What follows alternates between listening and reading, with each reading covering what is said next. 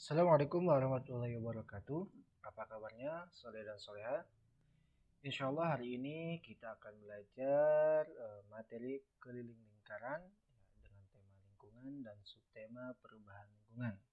Oke, kita langsung saja teman-teman. Kalian sudah belajar tentang jari-jari dan diameter lingkaran. Kita dapat menghitung keliling dan luas lingkaran jika jari-jari atau diameter lingkaran diketahui. Lingkaran memiliki panjang jari-jari atau R dan panjang diameter atau D. Jari-jari adalah garis yang menghubungkan titik pusat dengan titik pada lingkaran. Diameter adalah garis lurus yang menghubungkan dua titik pada lingkaran dan melalui titik pusat. Oke, untuk rumus lingkaran, yang pertama kalian bisa menggunakan K sama dengan V kali D. Atau yang kedua, K sama dengan 2 dikali V dikali R. Oke, untuk keterangannya, K itu keliling, R itu jari-jari, D itu panjang diameter, dan V itu 22 per 7 atau 3,14. Nah, V ini ada dua. 22 per 7 digunakan ketika jari-jari atau diameternya merupakan kelipatan 7 seperti 7, 14, 21, 28 dan seterusnya. Kali kemudian 3,14 kalian gunakan ketika R dan diameternya adalah selain e, kelipatan 7. Oke, langsung saja kita ke contoh soal yang pertama. Tentukan keliling lingkaran pada gambar di atas. Lihat teman-teman di atas ada sebuah lingkaran yang berputar-putar ya. Di situ mempunyai eh, jari-jari e, atau setengah diameter itu 14 ya. Maka penyelesaiannya adalah yang pertama kita lebih dulu menulis apa yang diketahui dari soal tersebut. Oke, dari soal tersebut kita ketahui R-nya adalah 14 cm.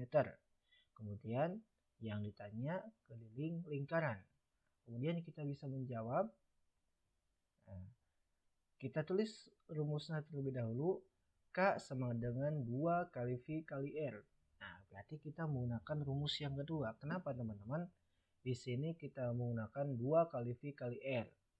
Ya betul, karena yang diketahui adalah ada R-nya atau jari-jarinya maka kita menggunakan rumus yang ada jari-jarinya yaitu K sama dengan 2 dikali V dikali R. Langsung saja kita masukkan angka-angkanya. 2 dikali V dikali R. V-nya di sini menggunakan 22 per 7. Kenapa teman-teman? Ya betul, karena R-nya atau jari-jarinya adalah kelipatan 7 yaitu 14. Maka kita menggunakan 22 per 7 dikali 14. Kemudian di sini ada angka 7, ada angka 14, ada kelipatan 7. Kira-kira kita bisa mm, menyederhanakan atau memperkecil angka-angka tersebut. Oke, kita bisa hitung 7 dibagi 7 bisa tidak teman-teman? Ya bisa hasilnya 1. Kemudian 14 dikali 7 hasilnya 2 maka bisa kita sederhanakan ya teman-teman ya.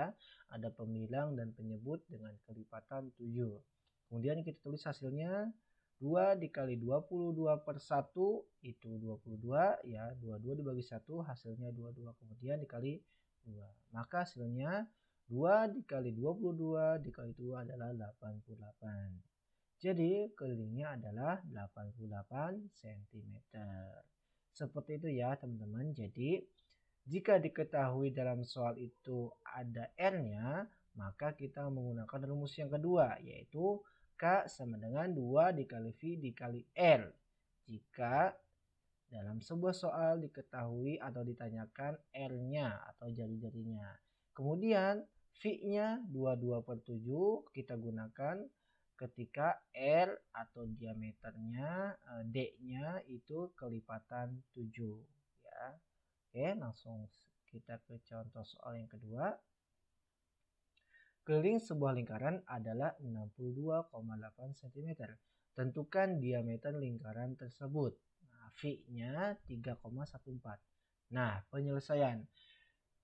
Langkah pertama kita tulis diketahuinya. Oke, yang diketahui dari soal tersebut adalah kaknya atau kelilingnya yaitu 62,8 cm. Kemudian yang ditanyakan adalah diameter lingkaran. Oke, dari soal tersebut kita sudah mendapatkan diketahuinya keliling 62,8 cm dan ditanyanya diameter lingkaran. Nah, karena ditanyanya diameter lingkaran, maka ketika menjawabnya kita menggunakan rumus yang pertama yaitu K sama dengan V kali D. Kenapa teman-teman? Ya karena yang ditanyakannya adalah diameter atau disimbolkan dengan huruf D. Langsung saja kita masukkan angka-angkanya. K-nya itu 62,8 sama dengan V-nya 3,14. Nah, kenapa di sini kita menggunakan 3,14 teman-teman?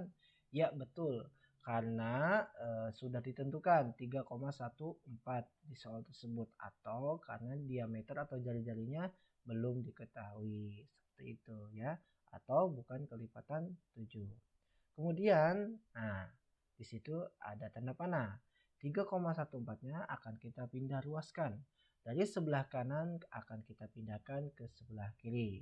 Tapi sebelum itu kita perhatikan. Di situ ada tanda operasi hitung perkalian. Nah, jika operasi hitung perkalian eh, kita pindah ruaskan akan berubah menjadi pembagian. Atau sebaliknya, jika pembagian ketika kita ubah atau kita pindah ruas akan menjadi pemba eh, perkalian ya. Diingat ya, ketika perkalian akan berubah menjadi pembagian atau sebaliknya. Ketika pembagian akan berubah menjadi perkalian. Oke, langsung kita tulis 62,8 dibagi 3,14 ya D-nya. Maka D-nya adalah 20 ya. Hasil dari 60,8 dibagi 3,14 adalah 20. Jadi diameternya adalah 20. Seperti itu ya teman-teman ya.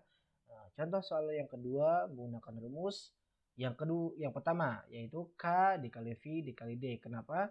karena yang ditanyakannya adalah diameter ya jadi teman-teman bisa e, menggunakan rumus-rumus tersebut dengan tepat ya ketika ada yang diketahuinya adalah R atau jari-jari maka teman-teman menggunakan rumus yang kedua yaitu K dikali 2 dikali V dikali R tapi jika teman-teman e, di dalam sebuah soal diketahuinya diameter atau ditanyakan diameter, teman-teman menggunakan rumus yang pertama yaitu K dikali V dikali D. Kemudian eh, teman-teman menggunakan V 22 per 7 ketika jari-jari dan diameternya adalah kelipatan 7. Nah, sebaliknya, jika teman-teman menggunakan V-nya 3,14, jika L dan D-nya itu bukan kelipatan 7.